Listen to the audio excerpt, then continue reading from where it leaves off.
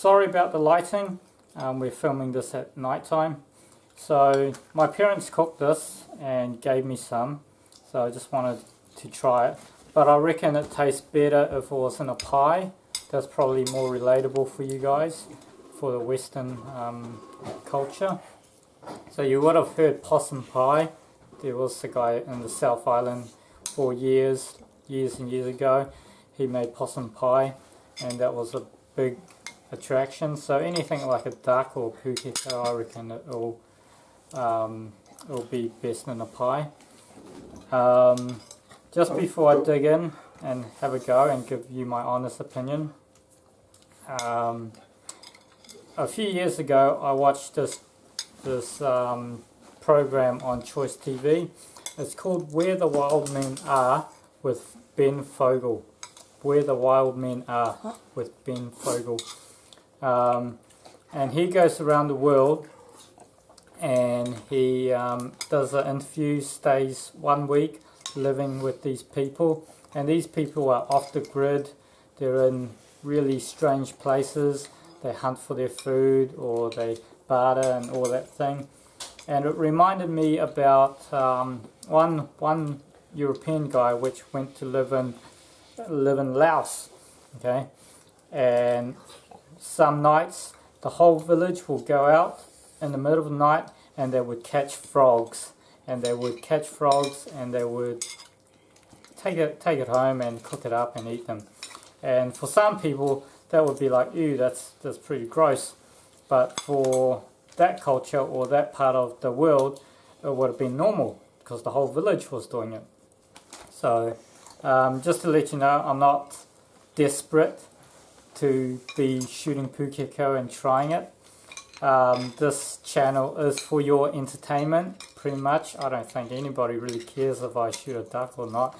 They just want to be entertained. So yeah, um, yeah. So I mean, I've got enough money to go out and buy a brand new car or go anywhere across the world. So it's not like we're financially struggling. It's just that I just want to try some Pukeko. Okay, so here we go. Okay, here we go. This is um, a pukeko stew, Asian style.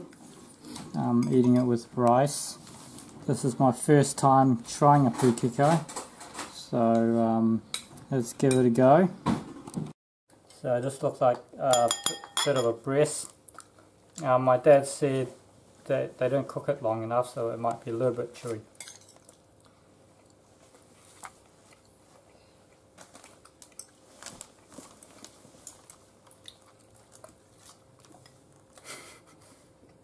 I was wondering what that was.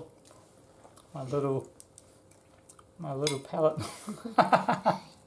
you ate your own pellet.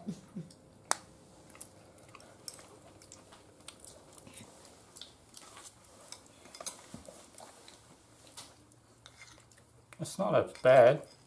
It's alright. It's, um, how would I explain it? It doesn't have a real strong gamey taste to it. Although it does have a little bit of taste to it. I mean, if this was in a pie, and you do the pie nicely, it would be, you would have never noticed it was uh, pukeko. You know, if you got the pukeko, pukeko breast. So, let me try another piece. Uh, so instead of doing um, just the breast, they actually did the whole lot, the whole bird. So I'm just trying to figure out which part is which. Okay.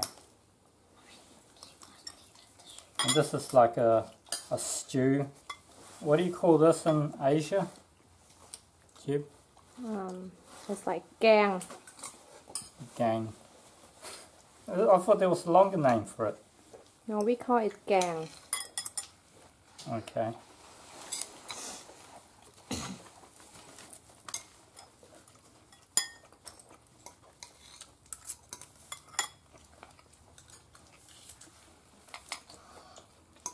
That's alright. I'm not I'm not vomiting which is a good thing. So it's actually alright. It's, it's, I mean, if I was working all day and was hungry, come home and ate this, it'll be fine. Yeah, so there you go. Who knew? Pukeko. It, it just tastes fine. Chewy. Yeah, because they didn't cook it for long enough. But for the taste of it, I mean, if we cooked it long enough, or if they cooked it long enough, what does it taste like? It's like chewy chicken. That's it, just tastes like chicken. no, but chewy chicken. Yeah, because they haven't cooked it long enough. So before anybody comment like, oh, that's how COVID-19 thing started by eating weird thing. Well, not really because um, COVID-19 was from a wet market where you've got a lot of other animals in a small packed space, but this is from the wild, you see. Just like that, um, where the wild men people are, where they go out and get the frogs, they get it from a lake or a pond in the wild. They're not mixing, you know, all that kind of thing. But if you were to say, oh, frog versus a pukeko, I mean, you know, it's it's not too bad. But like I said, it's a bit of fun, bit of experiment. But yeah, it just tastes like chicken in the end.